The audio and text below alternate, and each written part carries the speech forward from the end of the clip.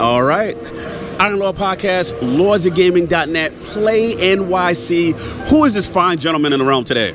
I'm Andrew Lindy from Juncture Media. How are you doing? Doing fantastic. And Sarv and I, we had our eye on this game right here. So tell us about how do you pronounce it? Avaria? Yeah, you got it. Okay. Av- Avaria Versus. Avaria Versus. Yeah, Avaria is the name of the planet. Okay. And this is our PvP game. Mm. So it's called Avaria Versus. Yeah. So I'm getting Final Fantasy vibes right now. Yeah. All right. Exactly. So the first thing I wanted to ask you off top is that um I'm noticing that style. You said PvP. So there are two modes. Like break this whole thing down. So Avaria Versus is a PvP game only, but we are also working on a story game. We wanted to start what which what we thought was new to the genre was you know Final Fantasy PvP, which is what we made here. So you can play online, you can play local, you can play versus bots. There's 16 heroes. Bots? Yeah, you can make over 2,000 different parties. So it's like totally customizable. And once you learn this battle system and the characters, we're going to come out with a story game called Avaria Ghost of the Immortal. So once everybody's like a pro at the battle system, we're going to throw a bunch of story challenges at you in a wow. separate game. Wow, this sounds pretty cool. One thing that I noticed is like you don't really see a battle game in this vein, sort of the Final Fantasy, without it being resembling like an RTS, like a StarCraft or something like that. So where did you guys come up with this idea to sort of have it like a, this turn-based thing, but not grid-based? And then how, how did you balance that, that, that gameplay? Because that's got to be difficult. It was a big challenge, but I mean, we set off like I grew up always wondering why can't I take my Final Fantasy VII party and battle against my friend. like Addict is loving this yeah, right now. Addict loving it. Yeah, like that's what I wanted to do, and I never could. I'm like, we both have memory cards. Shouldn't we be able to like stick them in and like just fight? So then, uh, so we made that, and so you know, when you play versus bots, there's no timer.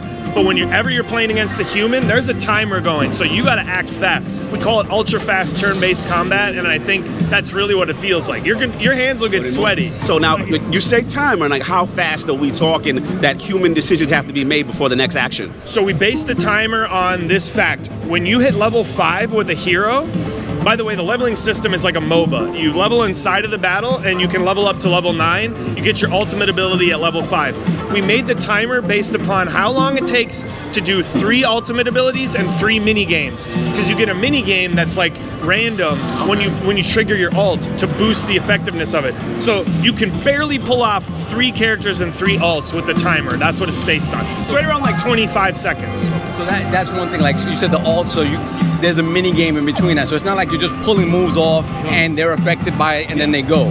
So that's great because it gives you even more like minute control of the battle as opposed to like I, I swiped you, whatever, you dodged it or anything like that. That's amazing, man, because it, you would think a lot of that stuff turns into kind of an auto battle. Like you attack them with something, then their turn comes. Yeah. That's awesome. That's yeah. awesome. Well, we just wanted to like I, I always imagine this scenario where eventually people are going to be like, "Oh, this is the best party," right? So what if you have two people playing the exact same party all the time?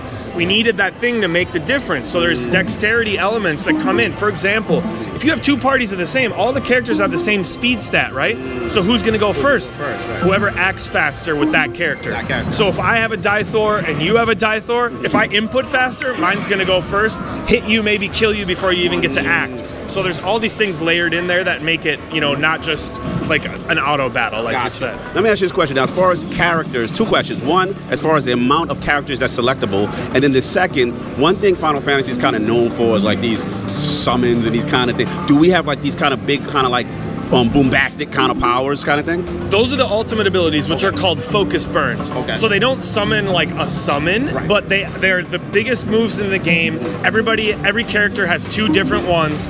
So there's 16 heroes, and each hero has two archetypes that you can load them out in. So it's almost like there's 32. Yeah, two, yeah it's almost like an additional character. So. Yeah. So there's over 2,000 party combinations you can make. So instead of customizing at the character level, you customize at the team comp level. You know, so like that's kind of what you're thinking is, you know, I need like a DPS guy, I need like a utility guy and a healer. Or maybe you could kind of go all DPS and just hope that you can kill them before they get a chance to get their defenses up. Is each archetype completely different in terms of loadout, in terms of how the, the tree, the skill tree expands? So, so basically, what the archetype changes is the the build path of the abilities plus the ultimate and the item. So the ultimate and the item are completely different, but the three main abilities are the same, except they build completely different. So in one archetype, you might build to like really strong single target damage. The other one, it might build out to a party attack, like you know area of effect. So it really changes how you're going to play when you switch to archetype. Yeah. That's really cool, man. So currently, right now, we are we currently out on Steam right now? It's out right Woo! now. Oh, we out in the store, baby. right we in the store right now. Right now. awesome, man. So um, again, out on Steam now. Us, uh, we're Lords, a lot of console guys here. Is there a chance at any point this may come to console? There's a chance, but right now you can see we're playing on controller. So I mean, you load it up on Steam. We uh, we made this game for controller. I'm a console guy too, but it's my first game, and I was like, consoles are a way bigger, you know, approval process. I didn't want to get in over my head, but we designed it with controller in mind. But of course, you can play it with mouse and keyboard too. Oh, that's awesome, man. Got my eye on it, man. Any? Definitely. Uh, One thing about so being that this is just the versus portion of it, are you including like lore and stuff in it to sort of get people Oh, yeah. invested in the characters? Yeah. Because you said there's there's an act there's a full on RPG coming afterwards. So There's a mini game. Yeah, what's I this like- mini game about? I was just about to ask you. Yeah. let's There's going to be another one here. Let's try it. So chaos. So he's got to solve the puzzle, flip them all green with before the time runs out, and he can boost it. Uh oh. This one, this one tricks people a lot. Oh, all great. Yeah, failure. Yeah. He got frustrated. Yeah. No, so the thing is with a mini game, you get the base effect just from triggering it. But if you complete the mini game, you get a boost. So that's how that works. Insta kill. Okay, okay. So there's the big moves. That was the big move. Okay, there we go.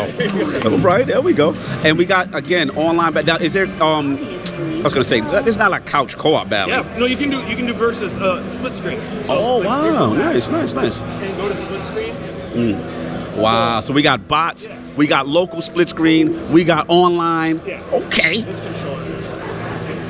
And Yeah. oh, that's So awesome, you bro. can do private match online. You can do matchmaking online. Awesome. You can do local versus bots or local Awesome. split screen. So I mean, even if there isn't a lot of players online, you can always you can always play one way or another. We have a, a pretty active Discord, discord.gg slash Avaria. So that's going to be for both games, but right now this is the only one that's out. You know. So, right now, again, multiplayer components out.